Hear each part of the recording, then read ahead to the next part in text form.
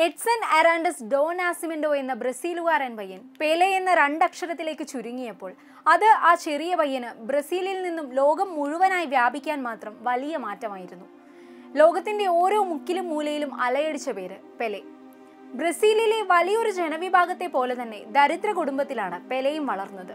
വളരെ ചെറുപ്പത്തിൽ തന്നെ നിലക്കടല വിൽപ്പനയുമായി എഡ്സനും കൂട്ടുകാരും വിമാനത്താവളത്തിലെത്തുമായിരുന്നു.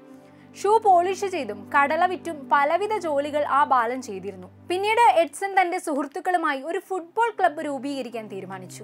എന്നാൽ സ്വന്തമായി ഫുട്ബോളോ ബൂട്ടോ ഒന്നും കയ്യിലുണ്ടായിരുന്നില്ല ഫുട്ബോൾ സ്റ്റിക്കറുകൾ പ്രശസ്തമായിരുന്ന അക്കാലത്ത് അത് വാങ്ങി മറിച്ചു കൊടുത്തും ചരക്ക് ട്രെയിനുകളിൽ നിന്ന് നിലക്കടല കൈക്കലാക്കി വിറ്റുമൊക്കെയുമായിരുന്നു എഡ്സന്റെയും കൂട്ടുകാരുടെയും പണം ഉണ്ടാക്കാനുള്ള പദ്ധതികൾ. അങ്ങനെയാണ് ആദ്യമായി ബൂട്ടുകൾ എഡ്സന്റെ കാലുകളിലേക്ക് എത്തുന്നത്. ആദ്യ ടൂർണമെന്റിൽ തന്നെ ഗോൾ സ്കോറിംഗ് മികവ് കൊണ്ട് കാണികളെ അതിശയിപ്പിച്ച എഡ്സണിന് അവിടെ നിന്നായിരുന്നു പെലെ എന്ന സ്കൂളിലെ തന്റെ വെളിപ്പേര് സ്ഥിരമാവുന്നത്. സ്കൂളിലെ വെളിപ്പേരായ പെലെ എന്ന പേര് ആ കുഞ്ഞു ഗാലറിയിൽ നിന്ന് മുഴങ്ങിക്കേട്ടു. തനിക്ക് തീരെ താല്പര്യമില്ലാതിരുന്ന പെലെ എന്ന ആ പേര് ആദ്യമായി അന്ന് എഡ്സണിന് സന്തോഷം പകർന്നു. അവിടെ ഒരു താരം ഉദിക്കുകയായിരുന്നു. ഫുട്ബോൾ ആരാധകരുടെ പ്രിയ താരം ബ്രസീലിന്റെ പ്രിയപുത്രൻ നൂറ്റാണ്ടിന്റെ ഇതിഹാസ താരം. ആരാധകരുടെ പ്രിയപ്പെട്ട ആ ഇതിഹാസ താരം പത്താം നമ്പർ ജേഴ്സിയുമായി കളമൊഴിഞ്ഞിരിക്കുകയാണ്. പെലെ തീർത്ത മാന്ത്രിക ഗോളുകൾക്ക് പതിറ്റാണ്ടുകൾ പിന്നിട്ടിട്ടും ആവേശം കുറയുന്നില്ല. കൂട്ടുകാർ നൽകിയ പെലെ എന്ന ഓമന പേരുമായി തന്റെ പതിനാലാം വയസ്സിൽ ബോറു അറ്റ്ലാന്റിക്കോ ക്ലബിന്റെ യു ടീമിലേക്ക് എത്തുന്നു. അവിടെ ബ്രസീലിന്റെ മുൻ താരം വാൽഡമർ ബ്രിട്ടോയിൽ നിന്ന് ആദ്യ പാഠങ്ങൾ. ബ്രിട്ടോയുടെ നിർദ്ദേശപ്രകാരം പെലെ സാൻഡോസിലേക്ക്.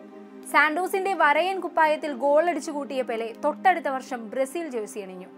ആയിരത്തി തൊള്ളായിരത്തി അൻപത്തി എട്ടിൽ പതിനേഴുകാരൻ പെലെയുമായി ബ്രസീൽ ലോകകപ്പിന്. വെയിൽസിനെതിരായ ക്വാർട്ടർ ഫൈനലിൽ ആദ്യ ഗോൾ. ആയിരത്തി തൊള്ളായിരത്തി അൻപത്തി എട്ടിൽ ബ്രസീൽ ആദ്യ ലോകകപ്പ് സ്വന്തമാക്കുമ്പോൾ നിർണായക സാന്നിധ്യമായി പെലെയും ഉണ്ടായിരുന്നു. പരിക്കിനോട് മല്ലിട്ടുകൊണ്ടായിരുന്നു പെലെ ആ ലോകകപ്പ് കളിച്ചത്. ആ വർഷത്തെ ലോകകപ്പ് സെമിയിൽ ഫ്രാൻസിനെതിരെ ഹാട്രിക് നേടിയ പെലെ ചരിത്രത്തിലെ ഹാട്രിക് നേടുന്ന ഏറ്റവും പ്രായം കുറഞ്ഞ താരമെന്ന നേട്ടം സ്വന്തമാക്കിയിരുന്നു.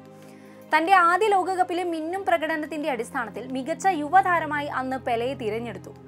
ലോകകപ്പ് ഫുട്ബോളിൽ ഗോൾ നേടുന്ന പ്രായം കുറഞ്ഞ താരമായി പെലെ. ആ കൗമാരക്കാരൻ അങ്ങനെ ബ്രസീലിന് പുറത്തും സൂപ്പർ താരമായി മാറുകയായിരുന്നു. ശേഷം ആയിരത്തി തൊള്ളായിരത്തി അറുപത്തിരണ്ടിലും ആയിരത്തി തൊള്ളായിരത്തി എഴുപതിലും പെലെ ബ്രസീലിനായി ലോകകപ്പിൽ മുത്തമിട്ടു. ശേഷം അവസാനമായി കളിച്ച ലോകകപ്പിൽ ഗോൾഡൻ ബോളും പെലെ സ്വന്തമാക്കിയിരുന്നു. മൂന്ന് ലോകകപ്പ് നേടിയിട്ടുള്ള ഒരേയൊരു താരം ഇന്നും പെലെ തന്നെയാണ്. അത് മറ്റൊരു പ്രത്യേകത. ആയിരത്തി തൊള്ളായിരത്തി അൻപത്തി ഏഴിൽ തുടങ്ങിയ തന്റെ അന്താരാഷ്ട്ര കരിയർ ആയിരത്തി തൊള്ളായിരത്തി എഴുപത്തി ഒന്നിലായിരുന്നു പെലെ അവസാനിപ്പിക്കുന്നത്. എന്നിട്ടും ക്ലബ് ഫുട്ബോളിൽ സജീവമായിരുന്ന പെലെ ആയിരത്തി തൊള്ളായിരത്തി എഴുപത്തി ഏഴിൽ തന്റെ പ്രൊഫഷണൽ ഫുട്ബോൾ കരിയറിൽ നിന്നും വിരമിച്ചു. ഇതിനെല്ലാം പുറമെ ഗിന്നസ് ലോക റെക്കോർഡും പെലെ സ്വന്തമാക്കിയിരുന്നു. ആയിരത്തി മുന്നൂറ്റി അറുപത്തിരണ്ട് കളികളിൽ നിന്നും നേടിയ ആയിരത്തി ഇരുന്നൂറ്റി എഴുപത്തി ഒൻപത് ഗോളുകളാണ് ഇദ്ദേഹത്തിന്റെ പേരിലുള്ളത്. ഈ ഗോൾ നേട്ടത്തിനാണ് പെലയ്ക്ക് ഗിന്നസ് റെക്കോർഡ് കിട്ടുന്നത്.